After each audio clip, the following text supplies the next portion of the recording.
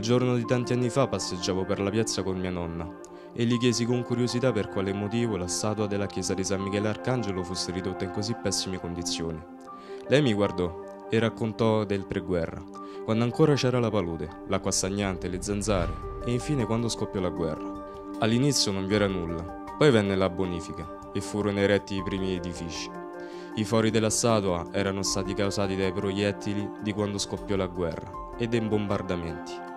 Vi raccontò di un uomo che ricostruì la città da capo e che nel giorno della sua inaugurazione, avvenuta ormai tanto tempo fa, il duce Benito Mussolini diede il nome a questa città, battezzandola con il nome di Aprilia.